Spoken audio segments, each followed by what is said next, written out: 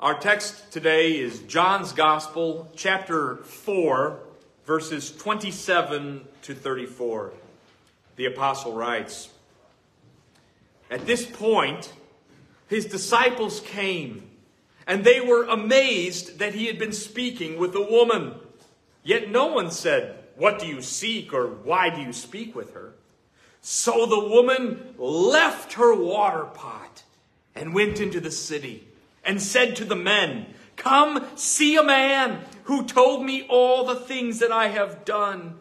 This is not the Christ, is it?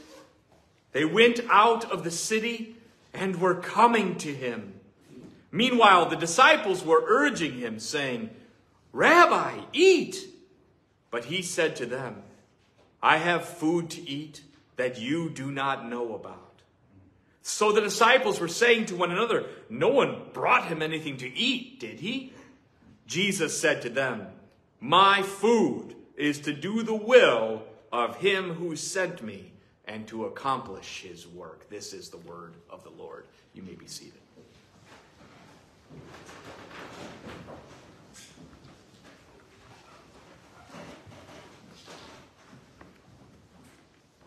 Well, imagine for a moment that you are one of the 12 disciples. You're in this pagan infested part of Israel that is despised by the Jewish people. You and the other disciples enter into the town of Sychar, this Samaritan town full of outcasts and you find the local Samaritan deli and you pick up some corned beef sandwiches there. And you're careful to ignore the stares of the people in town who are very curious as to why 12 Jewish guys have suddenly entered into their town and are walking through Sychar. And then, as you're walking back to your Lord with baskets full of groceries. You look up and you see Jesus having a friendly discussion with a woman. Not just with a woman, with an obviously Samaritan woman. You would be utterly shocked. What an amazing sight that had to be for the disciples. They were at least as surprised to see Jesus speaking with this woman as she herself was. Remember when Jesus first asked her for a drink?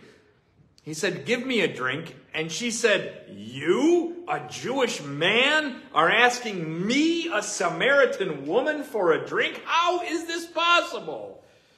You see, in that time, in contemporary rabbinical etiquette, rabbis would never speak to any woman in public. This is part of the way that the early first century Jewish leadership operated. A rabbi would never speak to a woman in public. He was not even to speak to his own wife in public. That was the Jewish view, the contemporary Jewish view of how women were to be treated by men. It was below a rabbi to speak to or to teach a woman anything. One of the daily rabbinical prayers was this Blessed art thou, O Lord, who has not made me a woman. you think about that for a second. Wow. And that's actually one of the things that Jesus demolishes in his ministry. In the ministry of Christ, women are greatly honored by Christ.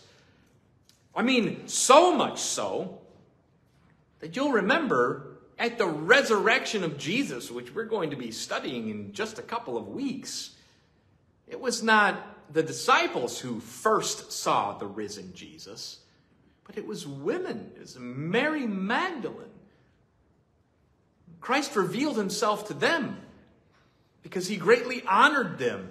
It was not The disciples who were standing around the cross, although John was there, but most of the disciples had run away. Who was standing around Christ's cross as Christ was dying? It was the women who were there, who are unafraid. You know, why were the disciples running away when Jesus was crucified? Because they just, I don't want this to happen to me. The Romans might get me. The Jewish leadership might see me as one of Jesus' disciples and do the same thing to me. Peter, I mean, the great Peter, even he denies Christ three times and runs away the night before Jesus was crucified. But not the women. Not the women. They're there for Christ. They're walking with Christ on the road to Golgotha. And Christ honors these women. And so, so even though it was contemporary rabbinical culture not to speak to a woman or to honor a woman, yet Jesus, the King of the Jews, he rejects that. He utterly rejects that and gives women a high place of honor in his kingdom. And he uh, uh, shows this by speaking with this woman. But they were surprised. The disciples were greatly surprised to see this. And any idea that women have lesser spiritual capacity than men or somehow lesser in value than men is rejected by the Lord. In the gospel, there is neither male nor female, and we can praise God for that. Praise the Lord that He is the Savior of both men and women alike. Amen. Nevertheless, the common thought in the first century was that Samaritan women in particular were considered unclean from birth. So surely the, the disciples think there has to be some reason Jesus is talking with this woman. Maybe he's asking her for directions or something, some other mundane thing. So far from their minds was the fact that Jesus was fulfilling his mission to seek and to save the lost. Yet the text says, even though they were shocked to see Jesus talking with this Samaritan woman, they did not ask him, What do you seek? or Why do you speak with her? Why didn't they ask him that? We can only assume that they thought it would be disrespectful of them to do so. It would be disrespectful to say to Jesus, like, what are you doing, Jesus? Why are you talking with that person? By this time in Christ's ministry, they had seen enough and heard enough from Christ, even at this early point, that they think he must have a good reason for doing what he did. Albert Barnes writes here, we should be confident that Jesus is right, even if we cannot fully understand all that he does. Isn't that a good lesson for us? We don't need to ask why. We don't need to ask him why he does what he does. If the disciples themselves don't ask Jesus why he is doing something that they don't understand, then perhaps we should not ask why either. When Christ does something in our life, maybe we don't need to say, Oh Lord, why are you doing this? And instead say, I trust you.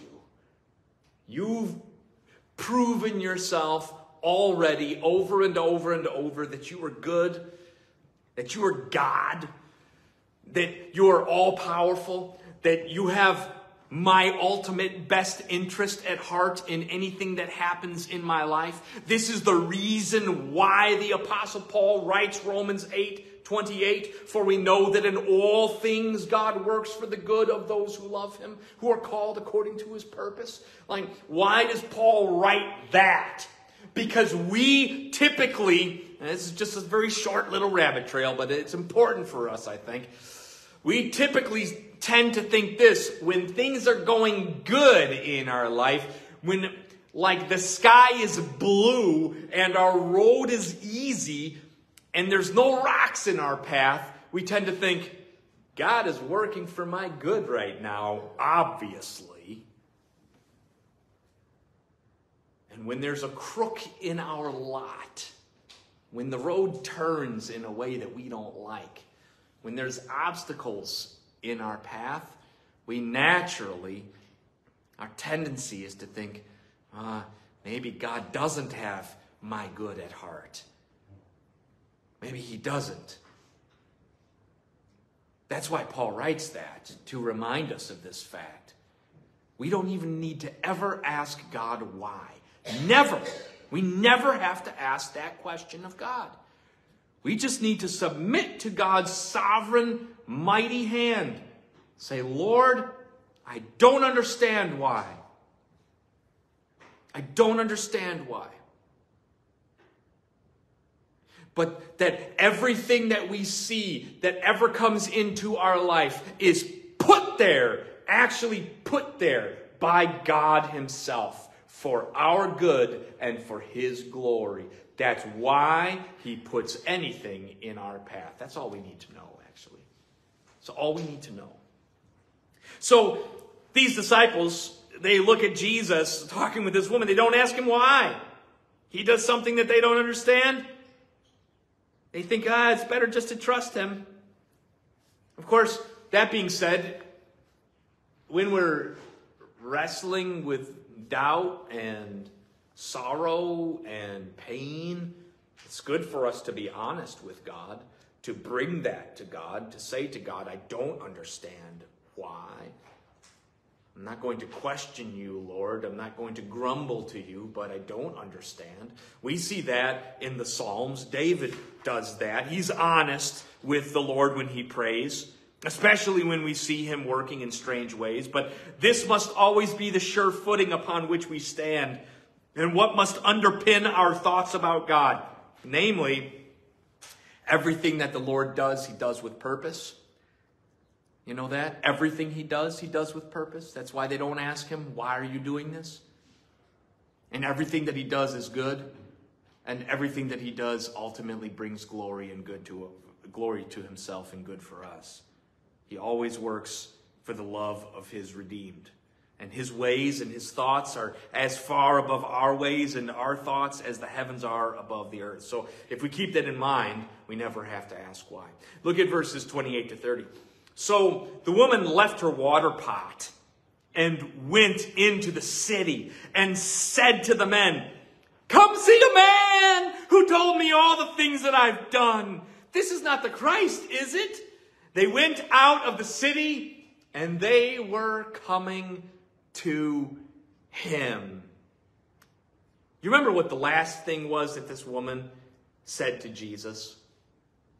She said, I know that Messiah is coming, who is called the Christ. And when he comes, he will explain all things to us. We learned about that last week. And Jesus replied and said to her, I who speak to you am he. Actually, in the Greek, it doesn't even say he. It says, I who speak to you, I am. Wow, it's pretty amazing. So Christ confesses that he is the one whom she is referring to. He is the promised Messiah that had been prophesied up until that point for 4,000 years. He meets that woman at Jacob's well and reveals his identity to her in such a spectacular way, that confessing who he is, his identity to this woman. Prior to, he had not confessed his identity like that to Nicodemus or, or even to the disciples. They did not even ask him. You think about that. It's far later when Jesus has to ask them, Who do you say I am? Some say Elijah, some say John the Baptist, some say one of the prophets. Jesus says, Who do you say I am? Peter says, You are the Christ. Ah, then he confesses it. But it's much later on. Jesus reveals himself to this woman. Seems that it was at just this exchange as Jesus is revealing his divine identity, his identity as the Messiah of Israel, when the disciples were walking up and the Samaritan woman has this amazing reaction to Jesus' confession of his own messiahship. What's the first thing that she does? Look at verse 28. So the woman left her water pot. She left it there. Why did she go to the well in the first place? What was the reason why she was there? You remember why?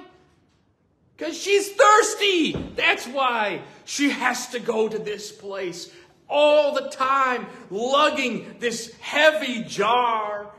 You know, I, I, took some friends. I said this, I've said this like 10 times now, sometimes from the pulpit, sometimes at book club, but I'm going to say it now, and then we're going to do it then, all right? I think we all need to take a, a, a trip, a, a field trip. On Monday afternoon, we need to go to the Oriental Institute Museum okay, and the University of Chicago, all of us will all go. We'll take big van, okay. I'll, I'll, rent a bus and we'll all get on it or something, or drive separate, whatever. And you can see there at that museum what these water pots look like. They're there, they're sitting there at the museum. It's a big jar. Like for me, I'm not a super strong man, but but I mean, it would be heavy for me carry a jar, to carry a bucket with a rope, a long rope, because the well is deep. And then you carry this all the way out of the city, all the way to Jacob's well, and then lower the bucket and raise the bucket and fill the jar. You know, it's, what is it, eight pounds per gallon? Eight pounds per gallon. That's, that's how much a gallon of water weighs. And what's eight times three? 24? So you think about that for a second. Let's just say she has a three gallon, which is not a lot of water to bathe, to drink, to use during the day. That's at least 25 pounds that she's carrying, and she's carrying it all the way from her house to there, and then heavier from there back to her house. Why? Because she's so thirsty. That's why. She's going there thirsty. And Jesus says to her, If you would ask me, I would give you living water, and you will never be thirsty again. And what does she say to him? Sir, give me this living water so that I don't have to keep coming here to the well to draw water. That's what she says. And then Jesus gives it to her. Go call your husband. The first first sip of living water, conviction of sin. And then they have a conversation about sacrifice and worship.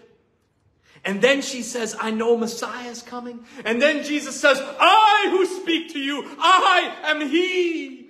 And as soon as she receives that confession of Christ, she leaves her water jar there. Why does she leave it?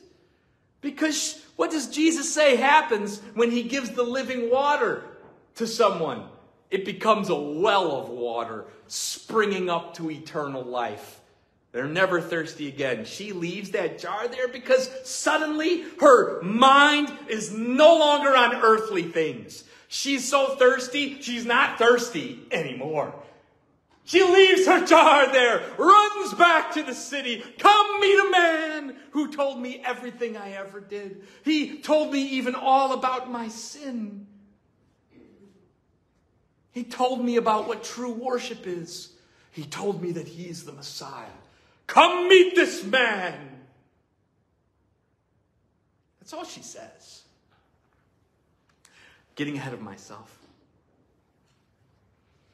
She leaves her jar there because the living water had already taken effect in the Samaritan woman's soul. Her thirst was quenched by Jesus Christ.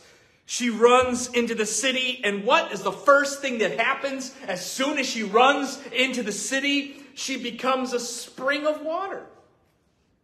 That's it. The life giving water of Christ welling up within her it cannot help but come out of her mouth. Come meet Jesus. She's like a, she's like a, a, a spring. It's coming out of her now. It's so amazing. She says, Is this not the Christ? She's convicted that indeed he is, and she has to tell the whole town about him. That's the first thing that happens. When this woman drinks of the living water of Jesus, she instantly becomes a witness of Jesus' grace in her life. Friends, if that's happened, if you've drunk of the living water of Christ, isn't that the first thing that happened with you as well? Like, if you can remember the time when, when Christ first revealed himself to you, when he first showed you who he really is, when he gave you eternal life, like, what is the first thing that you did? I bet you you went and told somebody. I bet you you did. You went and told somebody, I believe in Jesus now. Oh, look, it's right here. This was the verse that turned my heart to him. I see it. Do you see it too? Could this be the Christ?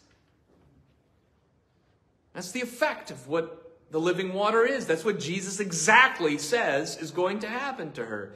He who drinks of this water becomes a well of water springing up to eternal life.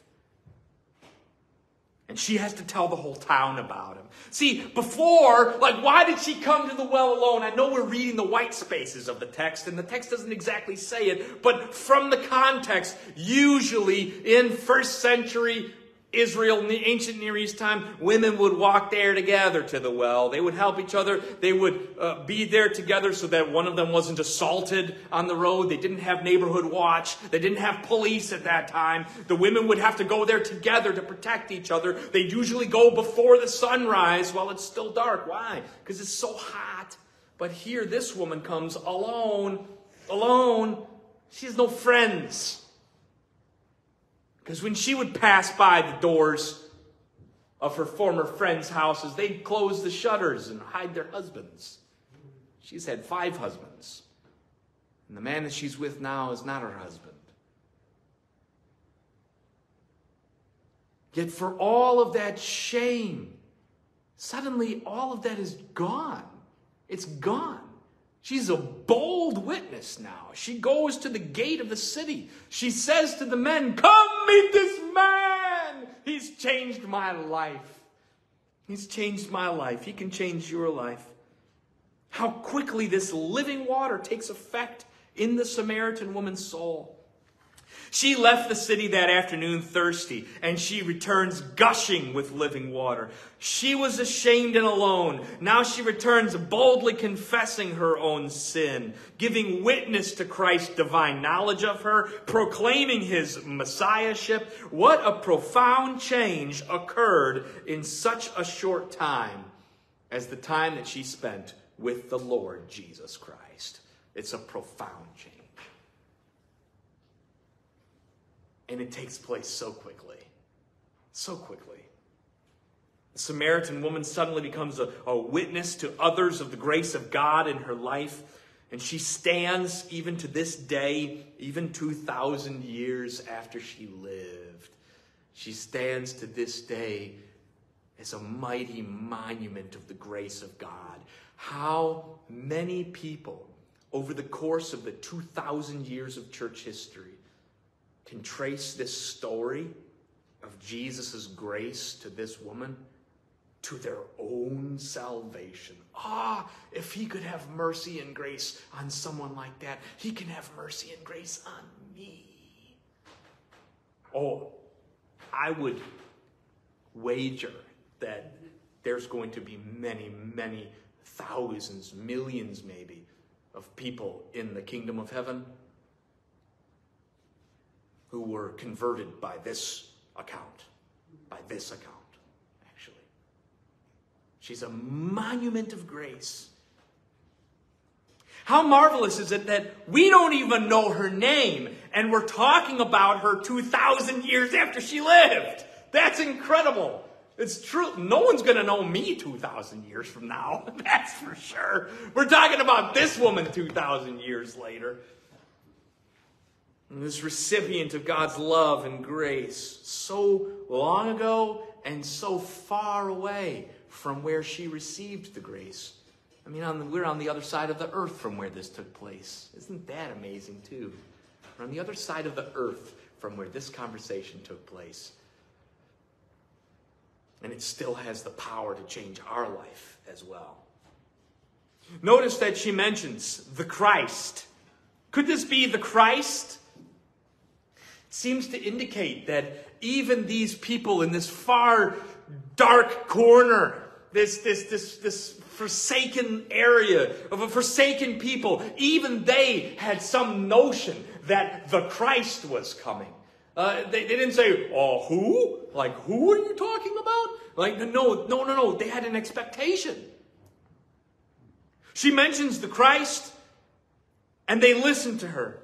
Listen, even in places where we might think there's no one there that longs for Jesus, there's no one whose heart is being prepared by the Holy Spirit to receive Him, there can't be anyone like that in this area. We're wrong about that. We're wrong about that. Jesus, in the very next section, Lord willing, when, when we get to the very next section here in John's Gospel, he tells his disciples that the, the fields are ripe for harvest, that he has been preparing a people to receive him. Her testimony must have been so powerful to the people of her town. I mean, otherwise, they would have ignored her. Remember, look at what it says in verse 28. So the woman left her water pot and went into the city and said to the men of the city. So here's a woman, and she's giving her testimony to the men of the city. Women, as I said, were not usually taken seriously in that place and time. So her words were very persuasive. She must have been extremely loud. Otherwise, they would not have heard her. She must have said, Listen! Listen! I met the Messiah! You need to come and see him! He's at the well, sitting there right now. And what was their response when she says that? Calm down, Susie. Was that what they said? No, no, they didn't. What are you babbling on about? No, they didn't say that. Instead, what did they do? It says they went out of the city and they were coming to him. Jesus says to another woman whose sins were many, He who is forgiven much loves much. The reason that the Samaritan woman's testimony was so powerful was because she was such a great monument of God's grace. She knew, she knew that her sins were many. She knew that she didn't deserve to meet the Messiah and to receive living water from him. She knew that he could have turned his back on such a fornicator and an adulterer, but instead, he doesn't do that. He saves her. He pours out his grace upon her. And that grace was not without effect. You know, that's what the Apostle Paul says in, in 1 Corinthians 15. He says, By the grace of God, I am what I am. He said, I don't deserve to be an apostle. I per- persecuted the church of God. But by the grace of God, I am what I am. Do you know, I was just this week at my favorite coffee bar that I go to like every day, and there's a relatively a new girl barista behind the, the, the counter, and I saw that on her forearm, she had this tattoo by the grace of God, I am what I am. That's what it said on there. And I said, I walked up to her when I was ordering. I, I ordered my favorite miel, which is like coffee with honey in it and milk. It's delicious. And and I said to her, I like I like that verse. And she said, uh, Oh yeah, yeah, so do I. She said something to the effect of like, I don't really even know what it means. but I like it. By the grace of God, I am what I am. And I said to her, what it means is this the Apostle Paul said, By the grace of God, I am what I am. And his grace to me was not without effect. No, I worked harder than all of them, yet not I, but the grace of God that was within me. That's the context of the passage that's on your arm. And what it means is this that because the Apostle Paul was a first century Osama bin Laden, that's what he was. He's a terrorist. He's going to persecute Christians, to throw them into jail. He wants what happened to Stephen to happen to all Christians. He wants them all to be stoned to death. He's Osama bin Laden. And then, as he's on the road to go and carry out his wicked plans to destroy the church in Damascus, there Jesus meets him, knocks him to the ground, says, Saul, Saul, why do you persecute me? And Saul says, Who are you, Lord? It is I, Jesus, whom you are persecuting. But get up and go, and I'll show you what you need to do. And Jesus had grace on him. And Paul says in 1 Corinthians 15 that his grace, his grace was not without an effect. The effect of God's grace to Paul was, I worked harder than all of them, yet not I, but Christ in me. Like, why did he work harder than all of them? Because of what I said about that sinful woman. He who is forgiven much loves much we will love God and we will serve God commensurate with how much we understand we have been forgiven by God. If we think we have very little to be forgiven for, we will then love God very little. If I think I'm not that big of a sinner, I'm going to love God very little because what has Christ done for me? Hey, he's just helped me out a little bit. It's not that bad. I, you know, like, eh, but if I realize that my sins are Mount Everest, that's what my sins are. I have Mount Everest of sin. And that that is what Christ has actually done for me, is that he's taken my sin from me. He's died on the cross to forgive me. Then his grace will have that much of a greater effect upon me. He who is forgiven much loves much. He who is forgiven little loves little. When this woman goes to the town and she says, Come meet Jesus! She does so because she realizes how much Jesus has forgiven her. That's why she does that. That's why she becomes such a bold witness. That's why she's uh, not afraid to uh, uh, confess. He told me everything I ever did. That's why.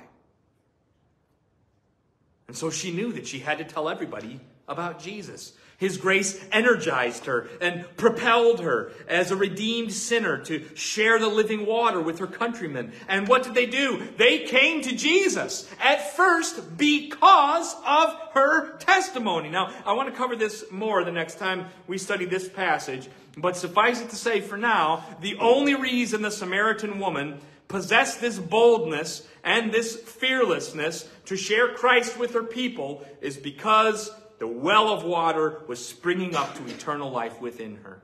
Hallelujah. What a Savior we have.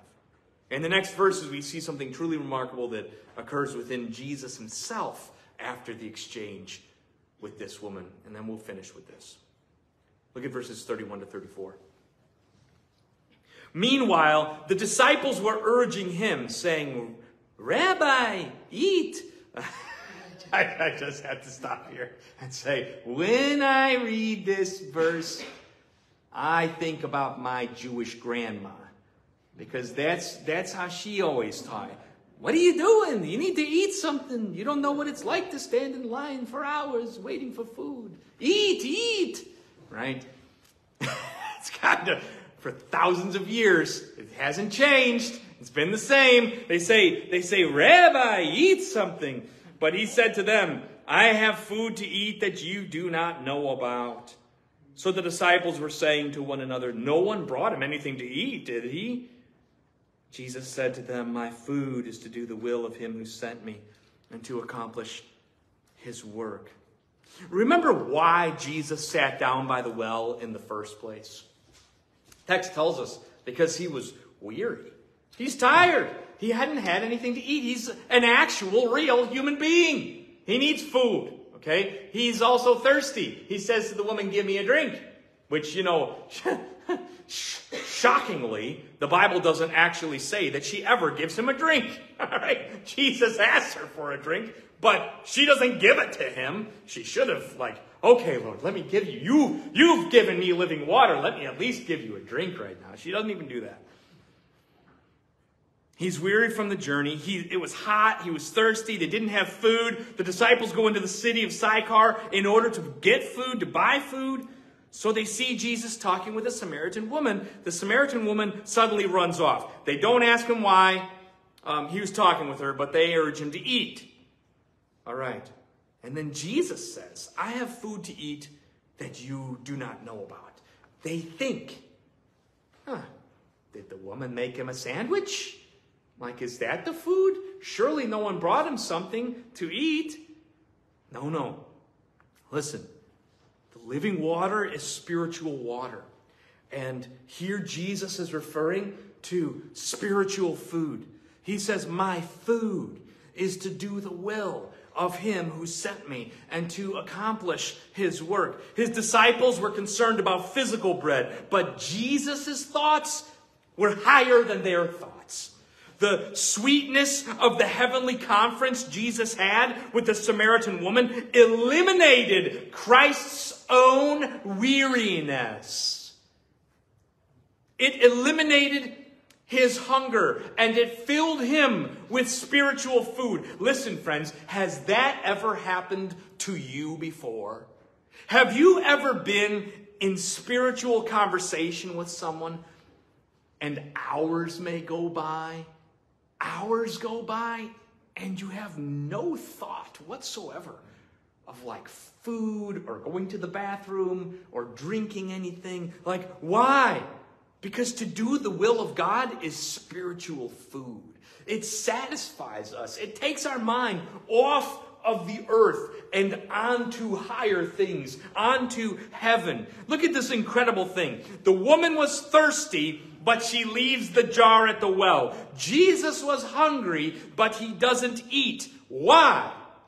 Because their minds were set on heaven. That's why. The woman forgot about her thirst because she now possessed living water. Jesus forgot about his hunger and about his weariness because his food is to do the will of him who sent him and to accomplish his work. We see here uh, just a couple of really beautiful truths. I'll end with this.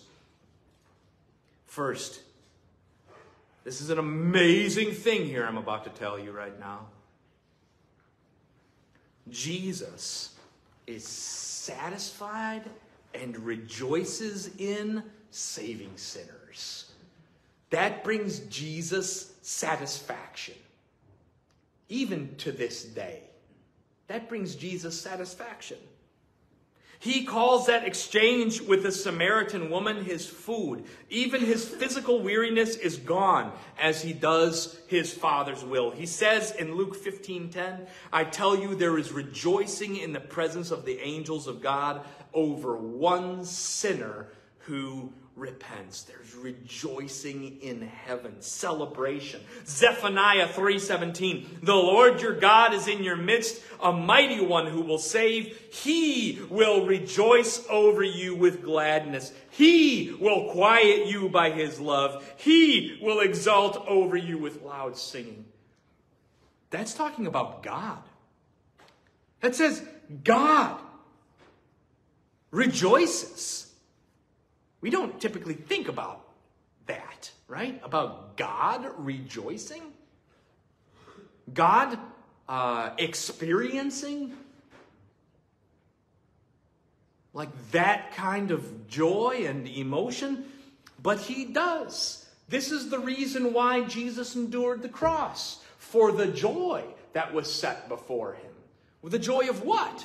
Because he knew what the cross was going to accomplish. That's why he was joyful, joyful even as he's going toward it, toward the worst possible death none of us can even imagine in this room. The worst possible death possible.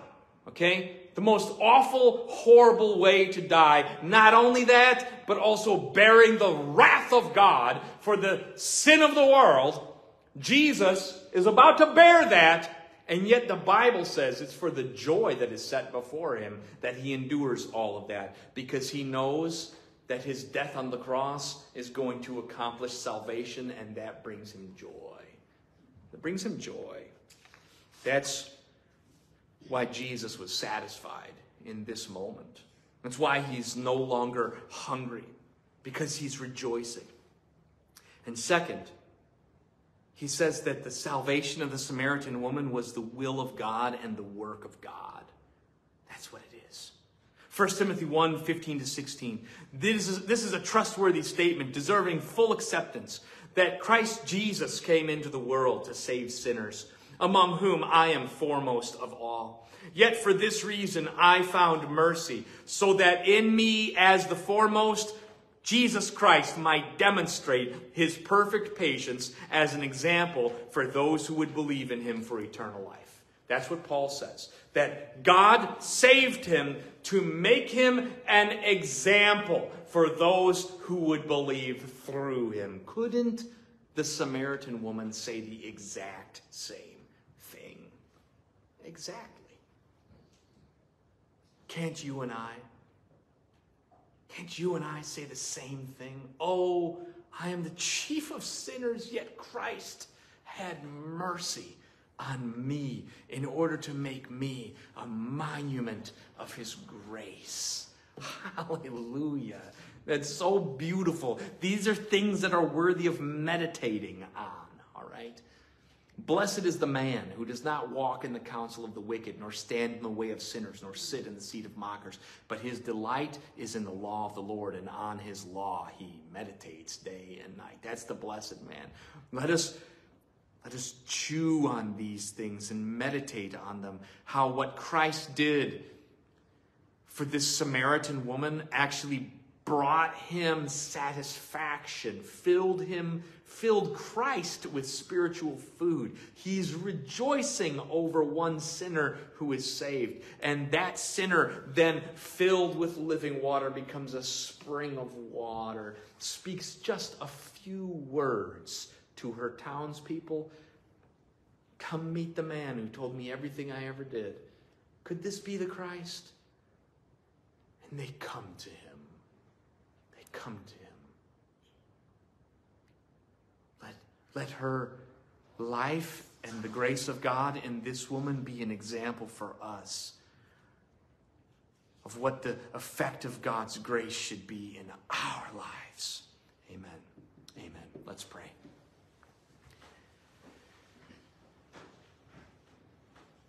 Oh, our great and gracious Heavenly Father, we thank you so much for this amazing example of your grace to the Samaritan woman. It was spiritual food for you, Lord, to give eternal life to this Samaritan woman. Oh, fill us with spiritual food today. May we be about our Father's work as well, just as you were. That this was why you came into the world to save sinners. Let us be mouthpieces for you. Let us speak about what you have done in our lives. Open up our mouths to be your witnesses, just as you did for this Samaritan woman, just as you opened up her mouth and she was bold to her countrymen.